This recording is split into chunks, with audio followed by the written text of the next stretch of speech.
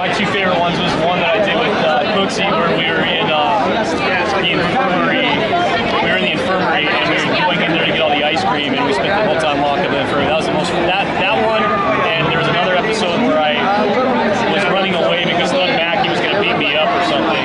And those were my two favorite episodes. It's very 90s. I mean, it's very, and like what they're saying, it was a uh, special kind of single